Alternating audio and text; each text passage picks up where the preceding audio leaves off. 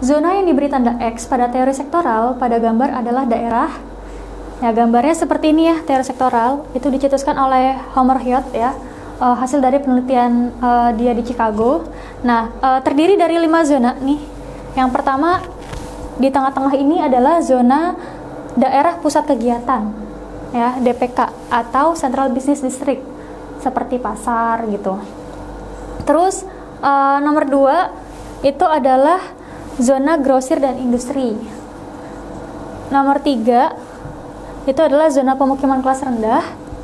Zona 4 nih itu pemukiman kelas menengah dan yang lima adalah zona pemukiman kelas atas.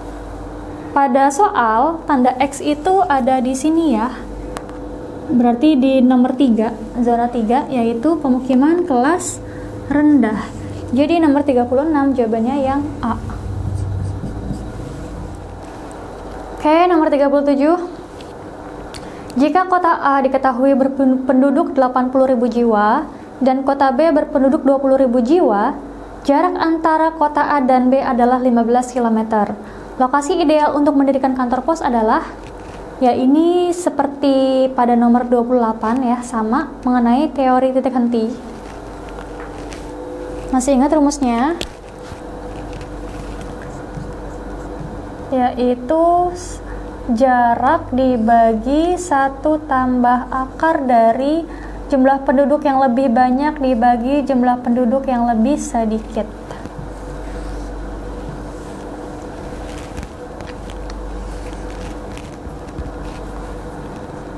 Yaitu jaraknya di sini 15 km dibagi satu ditambah akar dari penduduk kota A itu yang lebih banyaknya 80.000 dibagi 20.000 sama dengan 15 dibagi 1 tambah 80.000 dibagi 20.000 itu 4 akar dari 4 2 15 dibagi 3 sama dengan 5 berarti lokasi idealnya 5 km 5 km dari mana?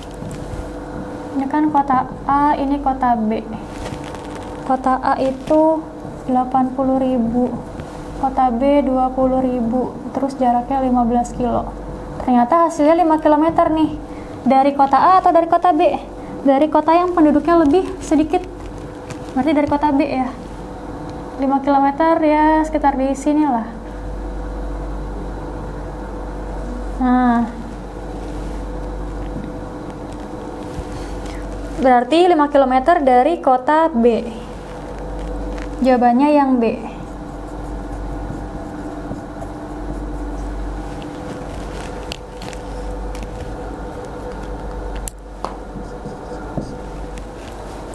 Tiga puluh delapan, arah pembangunan wilayah seperti gambar ke arah kawasan industri dengan alasan, ya uh, kita lihat gambarnya. Kalau kita tarik garis dari titik tengah, ya dari titik pusat ke garis paling luar, itu kita akan mendapati bahwa garis yang terpanjang mengarah ke kawasan industri. Jadi bisa disimpulkan bahwa arah perkembangannya itu yang paling pesat ke kawasan industri. Nah, kenapa? Nah, apa hubungannya antara kawasan industri dengan uh, pembangunan wilayah seperti itu kan? Kita lihat A, jalur transportasi yang lancar uh, dari dari daerah dan daerah dari pusat kota ini uh, tidak bisa dipastikan ya uh, jalur transportasinya seperti apa gitu. Terus yang B, pola pikir masyarakat mulai maju dan mendekati bandara, tidak ada korelasinya antara kawasan industri dengan pola pikir masyarakat gitu. Terus yang C, daerah berkembang dengan pesat dan wilayah dataran rendah. Ya ini masih menimbulkan tanya, kenapa daerahnya bisa berkembang pesat gitu loh. Yang D, berke, berdekatan dengan lokasi kerja dan pengembangan usaha ya hubungannya dengan pembangunan wilayah apa? Kalau lokasi kerjanya dekat kawasan industri itu terus kenapa gitu kan? Jawabannya yang E industri padat karya dan memerlukan banyak tenaga kerja. Jadi yang namanya kawasan industri itu kan e, tempat berkumpulnya pabrik-pabrik ya kan? Di mana kita tahu satu pabrik aja itu bisa merekrut sampai ribuan karyawan gitu dikali berapa pabrik. Nah sedangkan karyawan itu kan membayar pajak yang mana pajaknya itu menjadi pemasukan daerah tersebut dan akhirnya bisa uh, berkembang seperti itu. Jadi nomor 38 jawabannya yang E.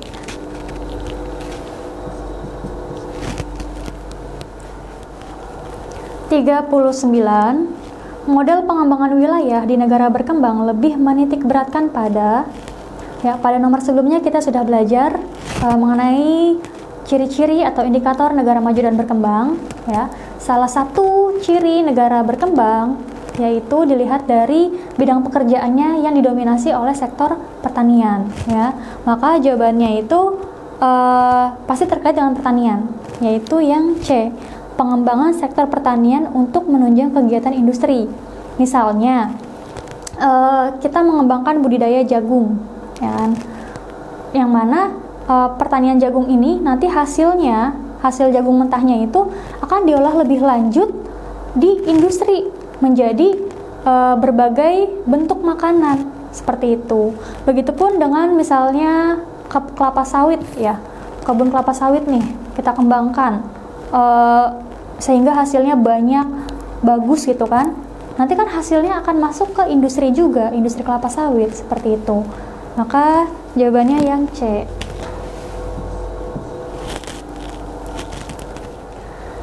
Ya, akhirnya tak terasa kita sampai pada nomor terakhir, yaitu nomor 40. Ya, mari kita lihat bersama. Karakteristik negara berkembang adalah yang A sebagai produsen barang-barang tersier. Barang tersier itu berarti barang-barang mewah seperti perhiasan, mobil, motor.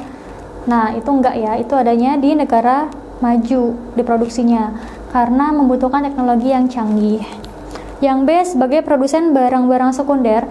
Barang sekunder itu barang yang dibutuhkan sehari-hari tapi tidak menyangkut hidup dan mati seseorang. Seperti smartphone, itu kan kita butuhkan sehari-hari. Nah, apakah itu uh, diproduksi di negara berkembang?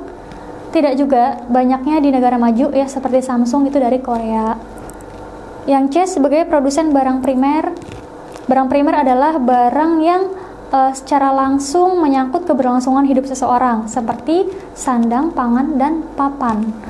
Uh, makanan, pakaian, dan tempat tinggal. Nah, ini adalah jawabannya, ya. Hal ini terkait dengan sektor yang mendominasi di negara berkembang, yaitu agraris atau bercocok tanam, di mana sandang, pangan, papan itu ya bahan utamanya, bahan bakunya itu berasal dari tanaman, ya makanan. Nasi dari padi gitu kan? Terus pakaian.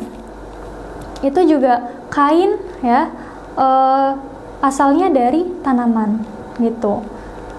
Terus uh, tempat tinggal kayu-kayunya juga uh, berasal dari tanaman. Yang dia sumber daya manusia yang banyak ini tidak termasuk karakteristik ya. Yang menjadi karakteristik itu produktif uh, pertumbuhan penduduknya, bukan sumber uh, jumlah sumber daya manusianya. Yang E sumber daya alam dikelola sendiri ini enggak ya. Karena kita belum uh, memiliki teknologi yang canggih, maka sumber dayanya dikelola oleh negara lain seperti itu. Jadi 40 C ya jawabannya.